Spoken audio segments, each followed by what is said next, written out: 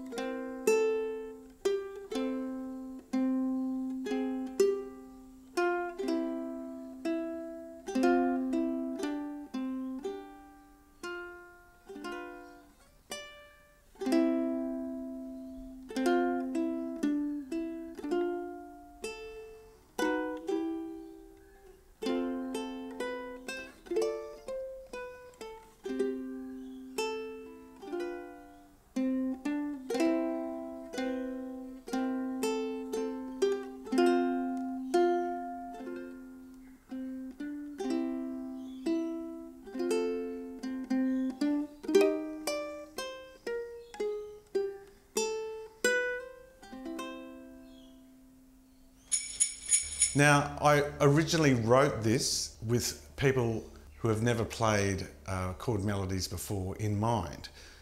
I wanted to make it really simple. So I've pretty much put a strum on the first beat of the bar. So we've got C, two, three, four, F, two, three, four, D minor, two, three, four, one, two, three, four. The note that your ear hears last and also the highest note in a chord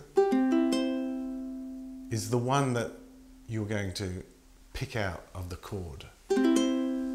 So for example, if I want this note to stand out, I've got no chance at all if I play that top C.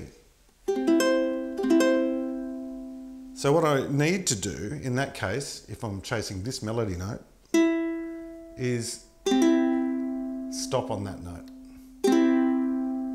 There may be occasions where you're after, you know, that note. And because it's the last note that you're hitting, you hear it okay. This is how I've approached these fingerstyle arrangements.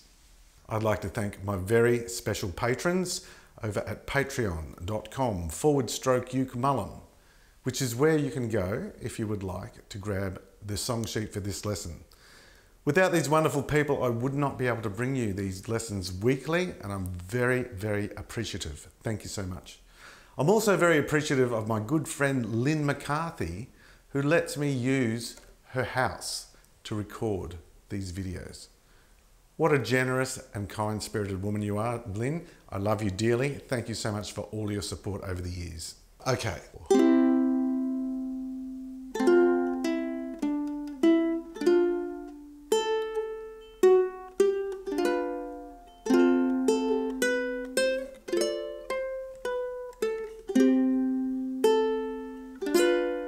So let's do that much first, starting with I'm dreaming. So I'm playing the F chord and then taking my finger off so that I can get that note, which is an E. So rather than moving my chord shape, I'm going to use this finger to come here to play the D note. And then we're in position for the D minor and then I hit the bottom A and then go to two, three, and I'm using fingers two and three. So that line all together, four.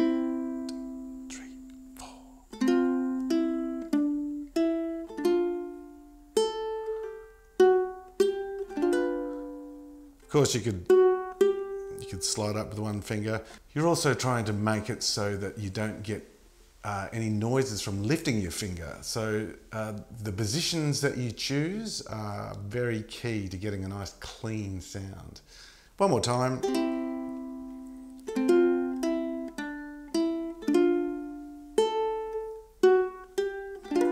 So that was pretty clean. So Mr. Pinky comes into play here. We've got F chord, zero, two, three, and then sliding up.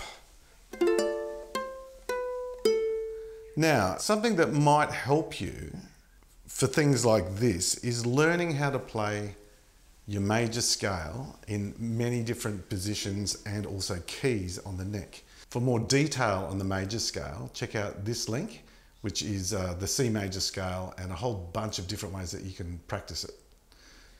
But for now, let me quickly give you a explanation of the C major scale. If we're playing on these bottom strings, we've got C, D, E, F, G, A, B, C. Or you could say zero, which is the open string, two, which is fret two, next string open, one, finger one, fret one, three, finger three, fret three, next string open, finger two, fret two, three, finger three, fret three.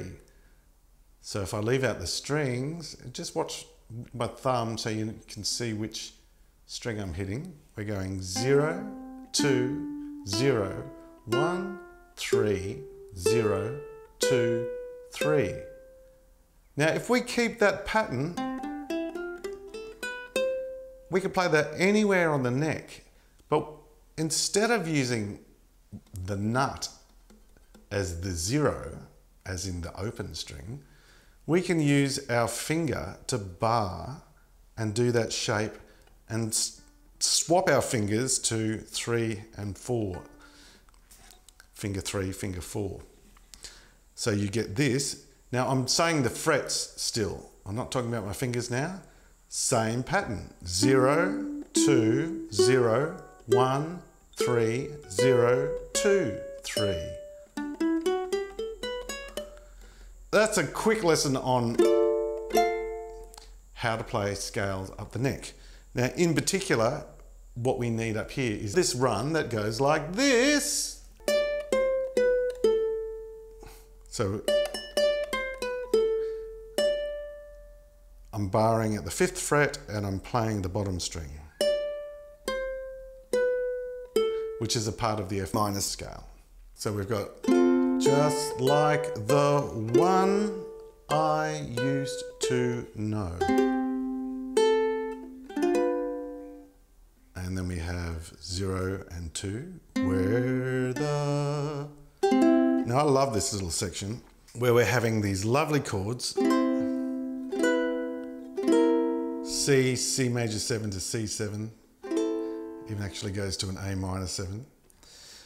Instead of playing the notes here, we're going to do it on this string. Guess what? They're the same note.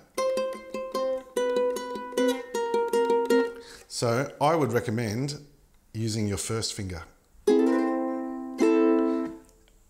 I've tried all the other fingers and that seems to be the one that does the job because we're sliding down.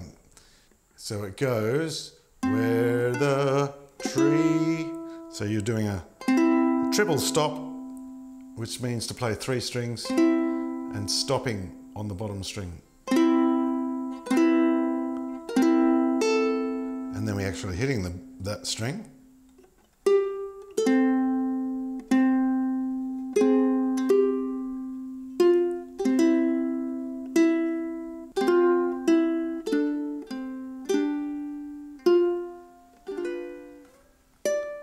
So I've, I've added a little harmony on that line as well.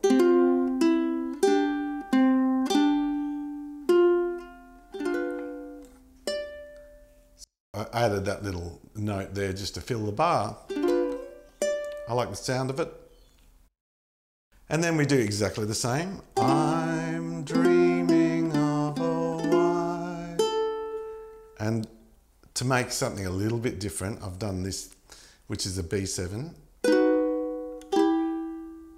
So you play your B7, then slide up to the C and drop the third finger. So you end up with that sound. I just thought that would be nice to have something different in the second time through instead of repeating exactly what you just played. So we have with every Christmas card I write. May your first finger again.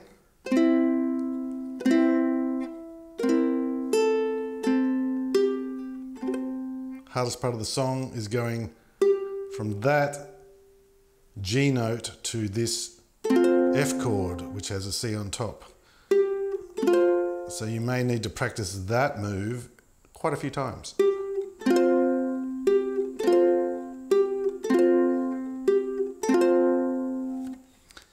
May your first finger days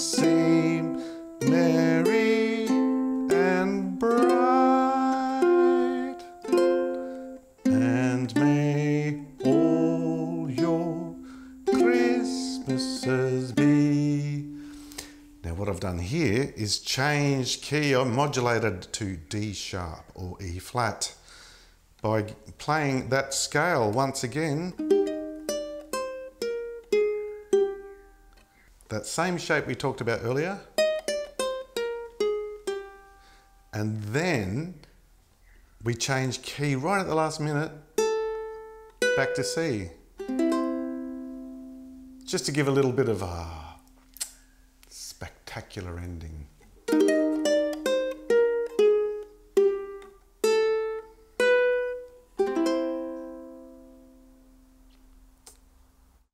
Thanks so much for hanging out with me all the way to the end of the video. Gold star for you. If you can't afford to be my patron, no problem whatsoever, but please do me the favor of giving this video a thumbs up. Share it with your friends. Leave me a comment below, and if you haven't subscribed to the channel, please go ahead and do that. Of course, if you would like to become a patron, head on over to patreon.com forward stroke Uke Mullum, which is where you can find the tab for this lesson. Thanks so much again, and I'll see you in the next one. The swirl in the sun. Swirl in the sun, and the swirl in the sky. Swirl in the sky, and the smile on the face. Smile